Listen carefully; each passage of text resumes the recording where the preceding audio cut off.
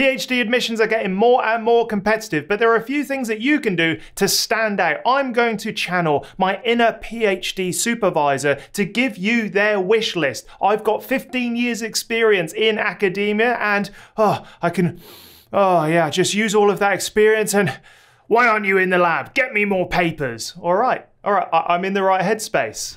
The first thing I would look for if I was a PhD supervisor are recommendations. Ah, it just takes all the process away. It makes it easy to just decide on a PhD student if they come with good recommendations from people I know, like, or trust. Now, this is one of the easiest things. I am a supervisor. I have got tons of admin paperwork, just rubbish to do for the university. My time is precious. I don't want to spend hours going through all of these different applications and going through the intricacies of each one if I know that you come recommended from a certain professor or a certain research group, or you've just got some lovely recommendations, that is going to make it way easier on me to make a decision. I choose PhD students like I choose solar panel installation for my house. If a friend recommends it, that's the company or person I'm going to go with. So make sure that your PhD application has really strong letters of recommendation, particularly from people that you have done research for. Now, if you don't have any sort of hardcore research experience, reach out to your undergraduate lab demonstrators, supervisors, um, whatever it is, just to kind of just show you've got some experience in a lab. But the more lab experience you can get in undergraduate and uh, by doing research scholarships over the summer or by sort of like volunteering in a lab, the better. So make sure you make the PhD supervisor go, okay, I trust this application and person because other people told me to. Although, I'll pretend I read your application when really I'll scan it just before you come in the room. This video is brought to you by my newsletter. Go check it out at andrewstapleton.com.au forward slash newsletter. The link is in the description. When you sign up, you'll get five emails over about two weeks. Everything from the tools I use, the podcasts I've been on, my TEDx talk, and more is exclusive content only available for free, so go check it out. As a PhD supervisor, I have been in academia so long that I am sometimes so far removed from the research that I actually love that having someone come along and tell me they like my research and that we're a good fit and that they're excited about doing the experiments that I propose is a great feeling. Now, as a PhD supervisor, I have been battle hardened by the university, I now find very little joy in life. I find joy drinking a lot of wine at night and moaning to my partner about the different administration tasks the university has got me doing. So, if this PhD student comes up to me, or prospective PhD student comes up to me and says, I love your research, we're a good match, this is what I like about your research, they've actually read a couple of my papers, that uh, they kind of understand my field a little bit more than just kind of like a, a, a summary that they've read on my website, then I'm going to start to feel that same emotional bubble underneath. I may even forget for a moment that the university is is piling on more and more administration tasks to me and that I hate my job. So, if you can convince a PhD supervisor that you are the person that's going to kind of be passionate about their research, that's going to um, be enthusiastic about going into the lab, about having conversations about the thing they fell in love with, then you are going to stand out, no doubt. So, a good research match that goes into the little bit of the emotional level can have a huge physical and emotional impact on the potential PhD supervisor because they are tired. They are tired. They are playing the academic game. The academic game has got worse and worse over the years. And if you can just show them that there is a little bit of love left in science, research, or whatever their field is, then you will get a big emotional reaction, a positive one, and that's what you want to do. So, research fit and uh, research enthusiasm around their field goes a very long way. Make sure that comes through in your application.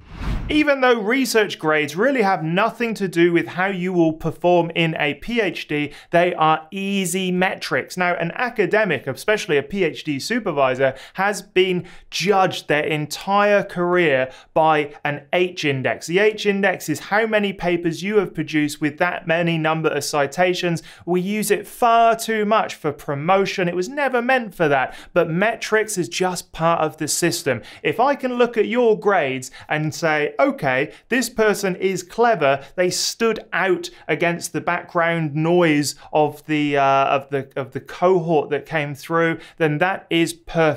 Even though grades only show me how well you do in exams, they can at least give me an indication of your dedication to science or um, the learning process. Once you start a PhD, it is a huge learning curve because you are no longer doing grades, exam stuff. You are now doing research, which is far tougher. But if I can rely on shortcuts like grades to, to make a decision, then that is brilliant because I need to get back to that pile of rubbish administration work for the university, and your grades are the perfect way of determining whether or not you are clever, even though it's just a weird way of showing me that you're really good at passing exams. Um, it doesn't matter at this stage. I'm going to go with someone who has got good grades. Now, as an academic supervisor, I don't want to be a stereotype, but my brain is like a sieve. You tell me something, it's out the other side. In fact, little side story, I'm going to come out of character now.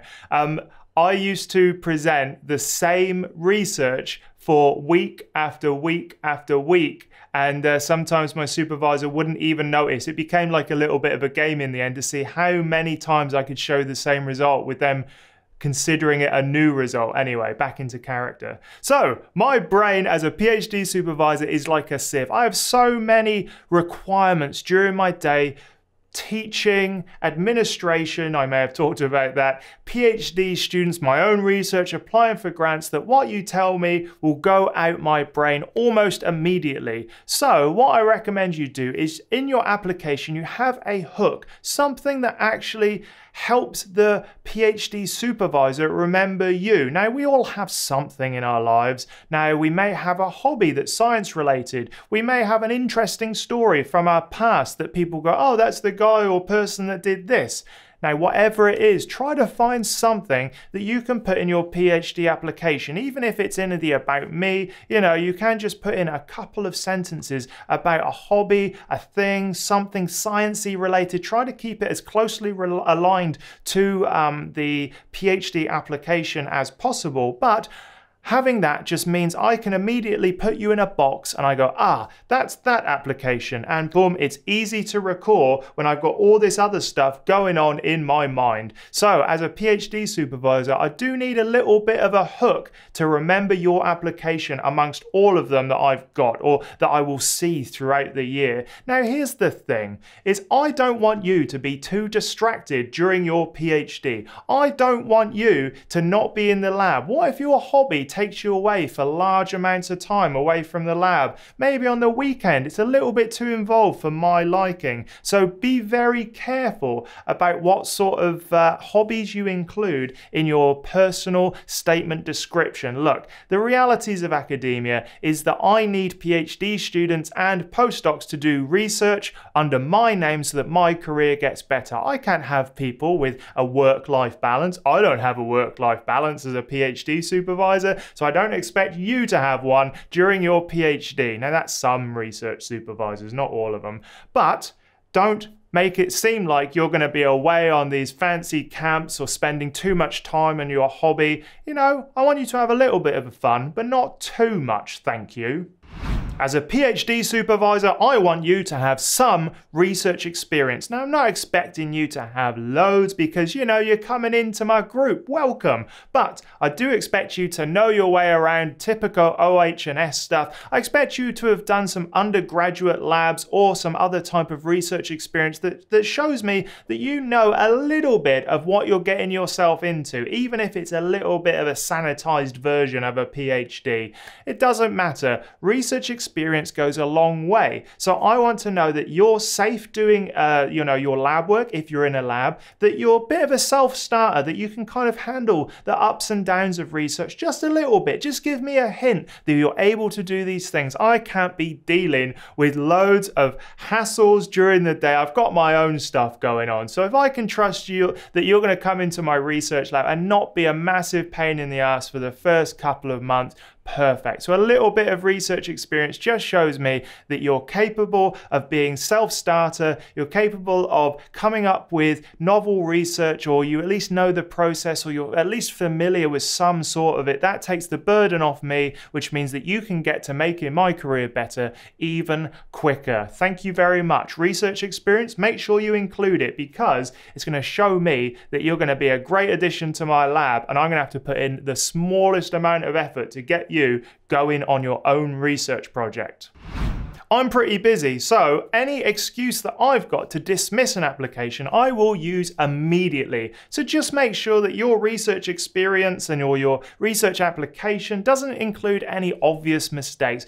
Make sure how you have someone sort of read over it. Look for spelling mistakes, look for grammatical errors, look for any sort of like typos that are distracting. All of that is just so easy for me to go, well, this person clearly didn't try and get rid of it. So if you've got a PhD application, application, make sure that it looks serious. Make sure that it's uh, not full of obvious uh, sort of scientific or research mistakes. That's the first thing, because I don't want my precious re research topic being misconstrued or misrepresented in an application. But secondly, I just don't want to sort of like spend time trying to understand what uh, the misspelling of a word means. So get someone to go through it, get it proofread, get it looked over, make it look friendly. Maybe just bump out the uh, the line height a little bit just to make it not look like a massive wall of text. It is a day in a life as a researcher. I spend my life looking at walls of text, whether or not they're thesis,